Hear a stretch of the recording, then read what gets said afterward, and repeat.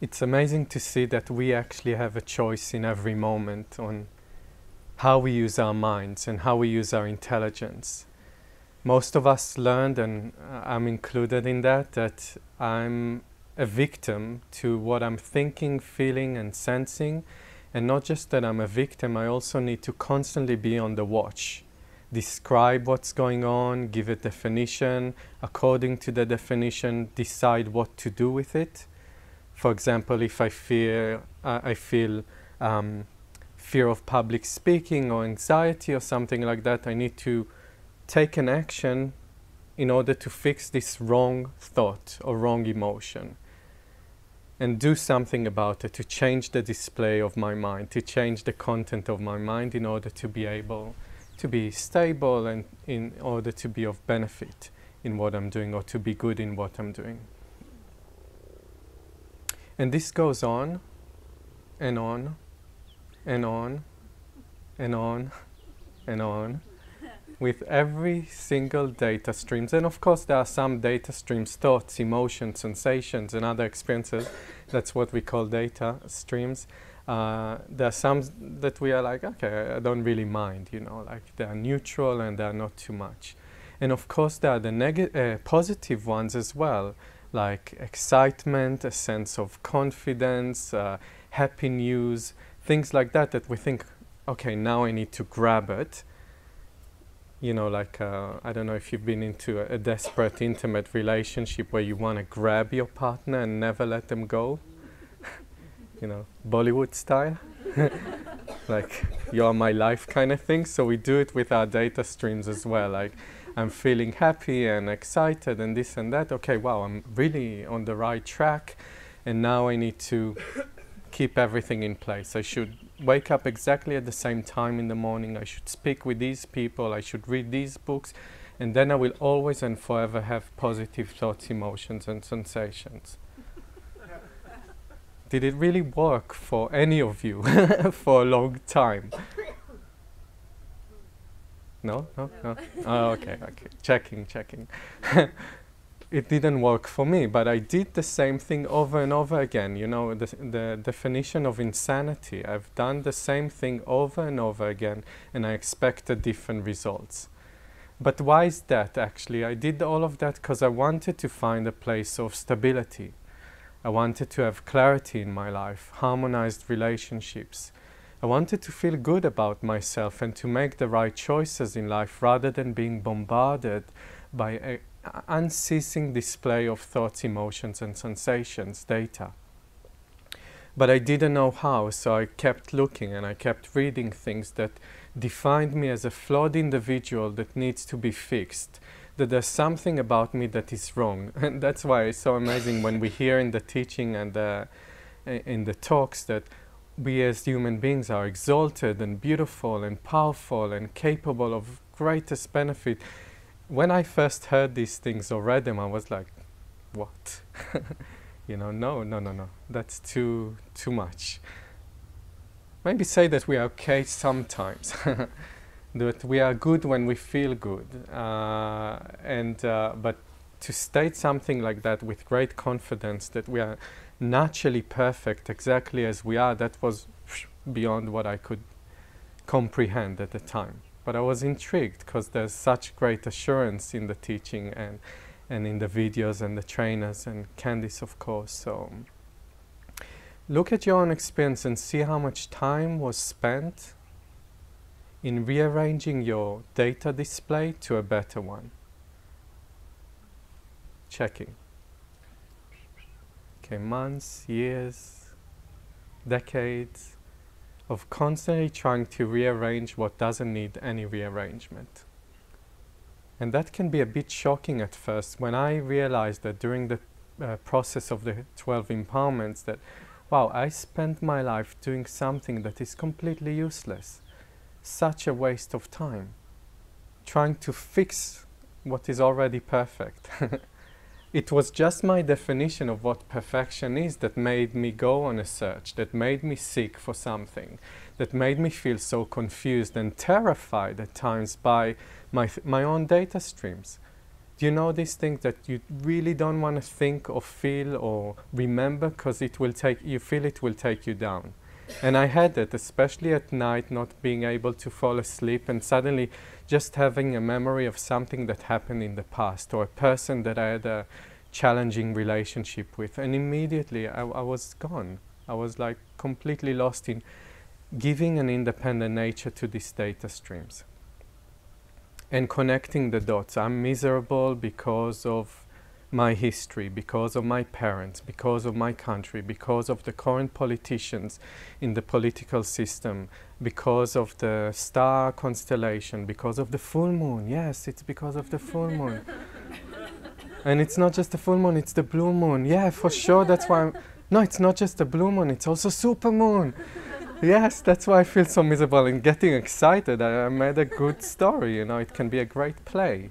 The misery, me as the main star.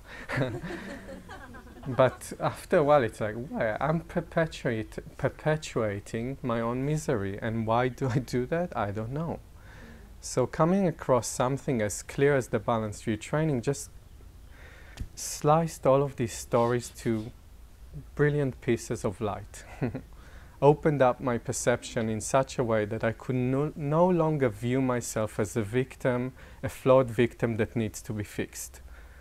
Speaking to you today, I still have what you can call negative thoughts, emotions, and sensations.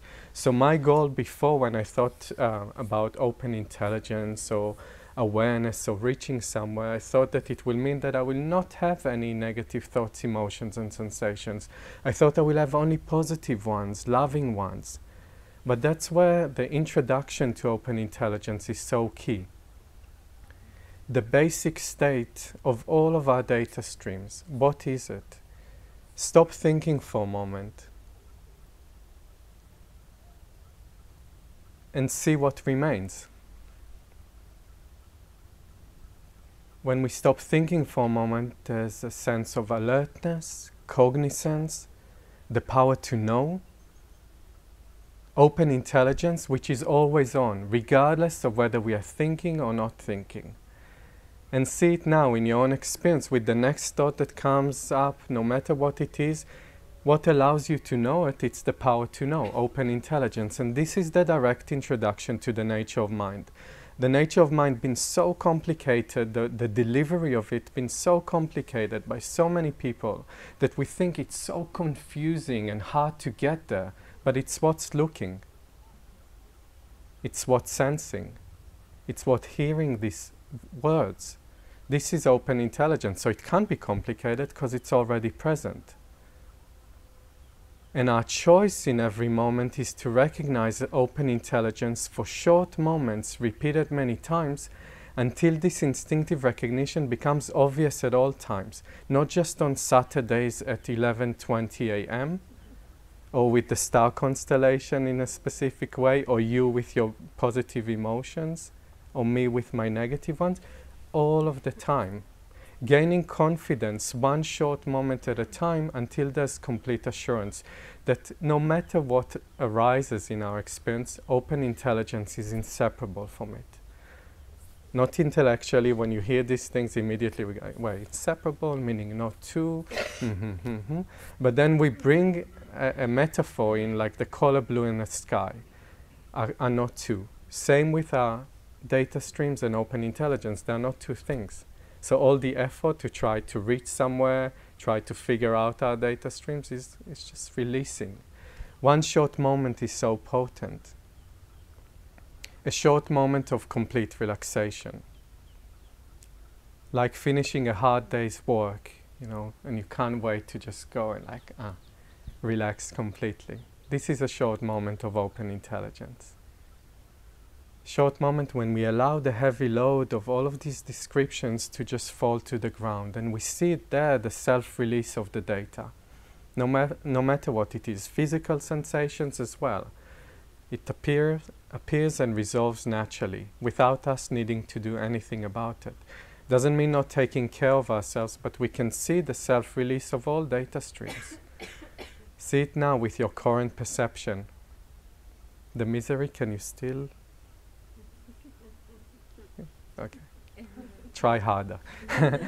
you know, see the self-release of the current thought, emotions, and sensation as open intelligence, inseparable, and that's very powerful.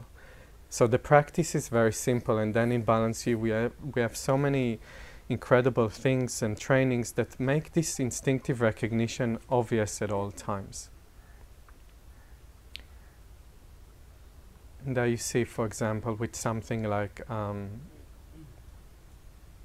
fear of failure or, or any kind of paranoia that we are not good enough and things like that, these are things that I could be a victim of for the rest of my life. Waking up in the morning and feeling not good enough and needing to fix myself and all of that. And, and, and for sure, I spent 20 years thinking about it. And what the conclusion, to share with you the conclusion that I reached? That I'm a loser. It will always be for that. And if I don't want to be a loser, I need to effort a bit more and do a bit more of something in order not to feel like that, have more positive thoughts and emotions. So limiting, such a box of limitation.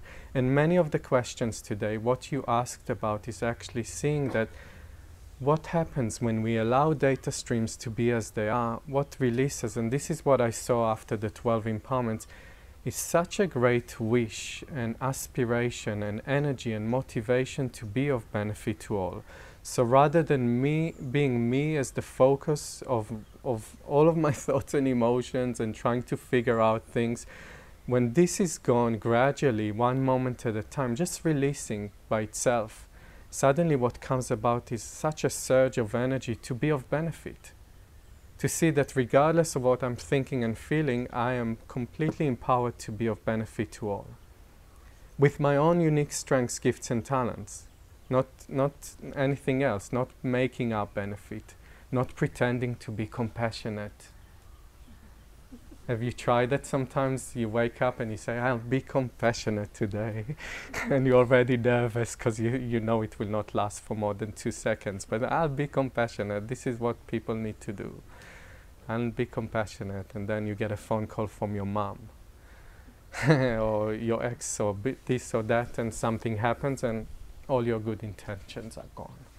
So something that is reliable and sustainable, to rely on open intelligence, natural compassion arises.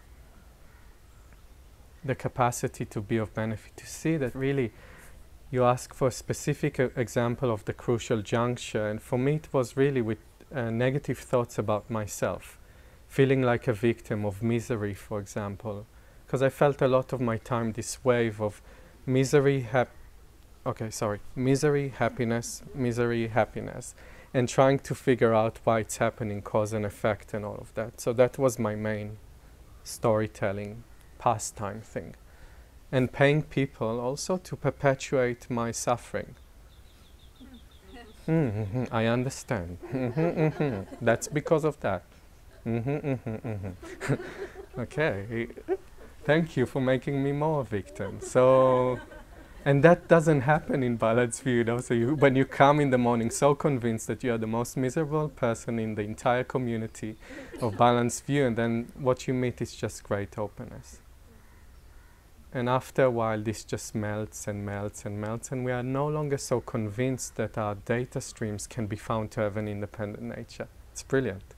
Any story that you'll bring, any memory, anything can be clarified. There is a solution there is a solution to all of these big problems. There must be a simple solution that we can implement in every moment. So the crucial juncture for me, for the first time, came about instinctively, not intellectually, with something like sadness that I thought a lot, a lot about. And I blamed many, many people and circumstances. And then I saw that I have a choice. I can choose to indulge, avoid, or replace it, or I can choose to take a short moment. No one told me a long moment. A short moment of complete relaxation and see what happens. And there I saw that my stability and happiness, genuine happiness, does not depend on whether I have positive thoughts or negative thoughts. I could see the inseparability of what I described as my greatest enemy. Suddenly it was inseparable from great bliss, openness, and love. in a very practical and grounded way. And then I was, wow, that's too good. I want to try it more. I want to try it more and I want to give all of myself to see if it really applies to all data streams. Fear of death, paranoia, sexual desire, um, envy and jealousy, anger, hatred, pride and arrogance. I'm the best in the entire universe. What do I do with that? That's the simple choice in every moment. And this is how, for those of you who are doing the 12 empowerments, it's such an incredible gift. You are in the right place. You are open enough. You are ready enough to give yourself the greatest of all gifts and ending, ending the search and ending the seeking just by being open. It's such a relief. I spoke with someone a few years ago and I said, you know, here we end the search and seeking. And he said, what if I want to continue to search? And I said, maybe then it's not for you. but here it's for people who really are fed up with seeking and wasting time rearranging descriptions. But instead, resting deeply in the powers of great benefit and see the accomplishment one moment at a time for the benefit of all. It's not a self help program, it's for the benefit of all beings. And that's the gift you give yourself in each short moment. And to all.